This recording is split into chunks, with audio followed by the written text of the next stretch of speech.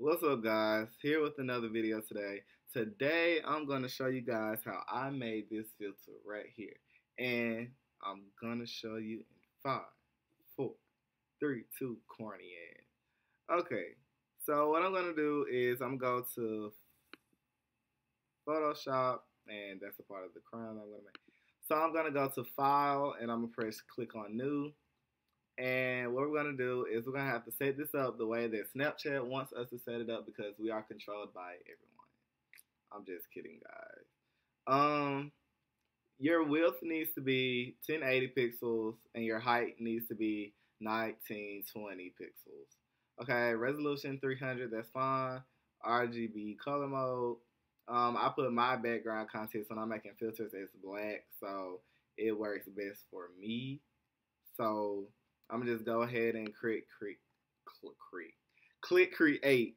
Um, let's see. The first thing I really want to do with this filter is I want to get that white gradient background um, at the bottom. So like it'll be white down here and then it fades to nothing, to transparent background. So what I'm going to do is I'm going to click on new layer right here. Okay, so I'm going to go right here with these three dots are at and I'm going to go down to gradient tool. So as you see, I already have the white set up to the transparent. So what I'm going to do is I'm going to click right here like in the middle. And I'm going to click on shift and hold it. And while I'm doing that, I'm going to click and drag all the way up. And that's going to make me have that white gradient background. So I'm going to click my move tool and I'm going to move this down because I don't want all that white down there. And plus, Snapchat isn't gonna let you uh, do that. Don't worry about this. Like you can see, it's a noticeable line where it stops at, but you really won't see it once you turn the black off. Well, you will, but not when you're really using the Snapchat filter. So what I'm gonna do is I'm gonna start typing the text. So for the welcoming part, what I had was um, marquee. Um, the font called Marquee, and I downloaded it off of 1001 fonts, um, I think, .com. So what I'm to type is welcoming, and this is definitely not the color that I need to have. Uh, I just really just click on, oh, that's cute. I love blue. Blue is my favorite color, you guys. So what I'm to do is press Command T to transform because I want this a little bit bigger than what it is. So I'm gonna press Shift and the Alt Option key because I have a MacBook. I'm not sure what it is on Windows. So I'm gonna move that out. Okay, so you see this purple pinkish line in the middle. That shows that it is in line in the middle of the uh, filter.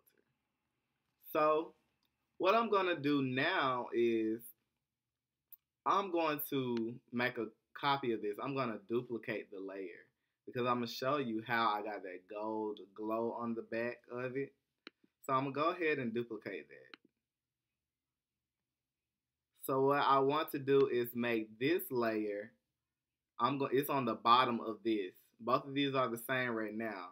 So what I'm going to do is I'm going to go to file and I'm going to place a gold glitter background. So I'm clicking gold, gold glitter sample. So I'm going to place that on top of this. You see one's on top and the other one is underneath the gold glitter. So I'm going to press enter to place that. And I'm going to click over here and I'm going to go up to create clipping mask. You can't see it now. So what you're going to do is you're going to make this into a smart object. If I can find it. Oh, convert to smart object. So what you're going to do, you're going to go up here. You're going to press filter. Go down to blur. And click on, I can't pronounce the word, Gaussian blur. So as you can see that this has popped up the gold in the background. So what I'm gonna do, I'm gonna probably bring this out a little bit. Uh, yeah. So now I have to make the white inside of my welcoming text that's on the top up here. So I'm to double click this and I'm to click on outer glow. So see it already pops up the way I want it. What I have for my settings, my opacity is at 100. My blend mode is at normal. Um, I have no noise on there. Um, softer technique. Spread is at 6 and the size is at 10. And my contour is at linear. Right there, linear. So I'm going to press OK because that's how I wanted that top part to be. So I'm going to come down here and it's time for me to type in the Prince Micah. So what I'm to do is I'm to change my font and the font that I'm to use for this is the heart of everything and it's changing the font down here. So let me go ahead and type in Prince Micah. And I want this to be uh, like that. So what I'm gonna do is I'm gonna select this and press the heart of everything. And I'm gonna make it bigger because that's definitely small.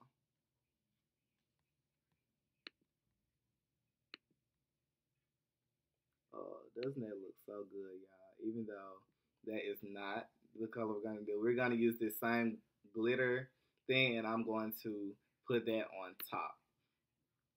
So what I'm going to do is go back to File, Place Embedded, type in gold right there, press place, put that on top, press enter, and press create clipping mask. And see right there, that looks so great, guys. So what I'm going to do when I if I decide to move this, I'm going to link these two together. So I'm gonna press my command key and I'm gonna click Prince Michael along with that. So I'm going to link these together.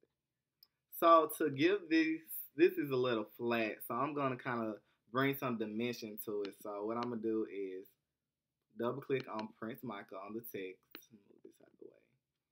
So what I'm gonna do is I'm going to press drop shadow and I did not want that deep of a shadow, so I gotta find the one. Well, I know. Okay, my distance. Spread. Let me turn this spread down some, and that's definitely not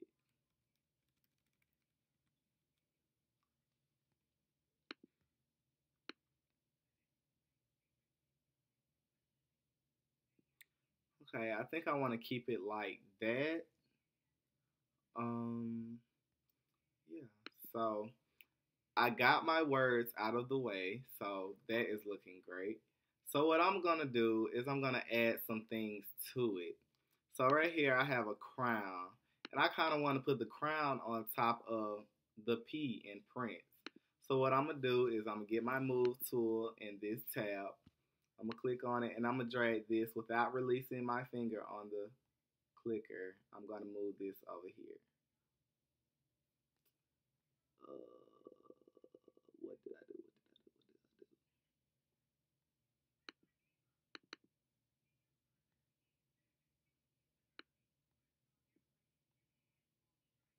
I did not want it. Okay, here we go. Here we go. I don't know what I did, you guys, but I got it.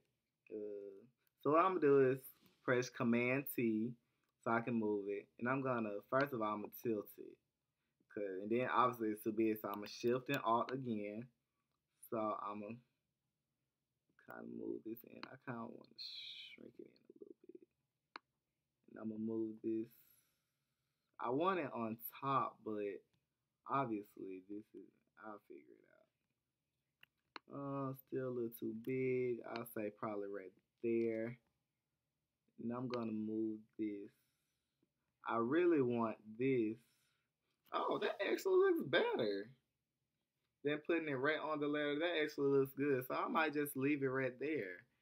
Okay, so the next thing I'm to do is right here I have some balloons that I had got off of Google Images. And I'm going to click and drag those like I had did a while ago. So put those right here. So what I'm gonna do is I'm gonna duplicate that layer so I can get another of those. And I'm going to put these over here. And as you can see, these lines really matter, you guys. See, those three lines mean that these balloons are in sync to the T, No.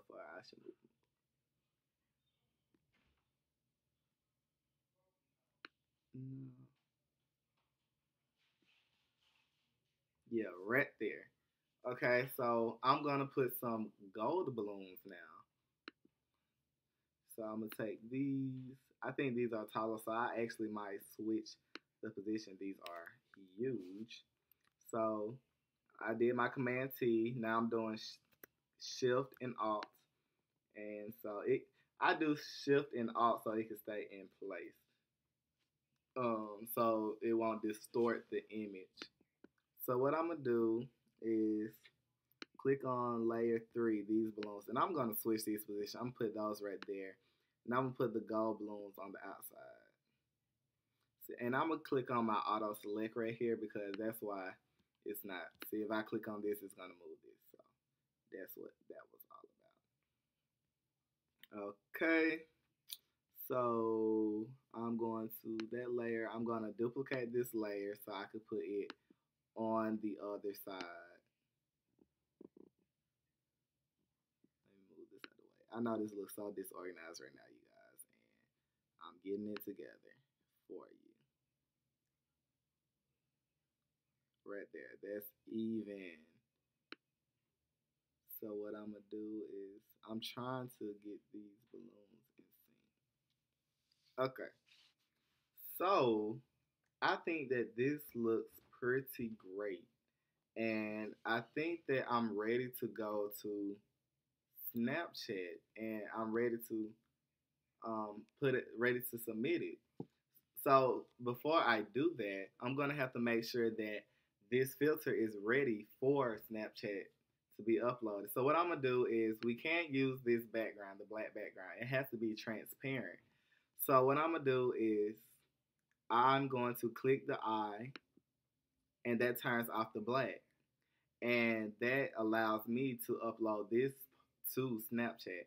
But I usually delete this because even though I'm not showing it, it's really adding up space that really could be um, not used. I don't know how to explain it right now. So what I'm going to do to save this, I'm going to click on File, save as. And I usually save all this to my Snapchat filters. So what I'm gonna do is I'm gonna name it baby shower. And see it says PSD, that's for Photoshop. So go down here to format to save it. I save it, I scroll down and press PNG, portable network graphic image or something like that. I forgot the name of it. So now it says PNG. That's the only way that you can upload um, this to um, Snapchat. So I'm gonna press save, and I already have it saved, so I'm not gonna press replace, and that's all you have to do.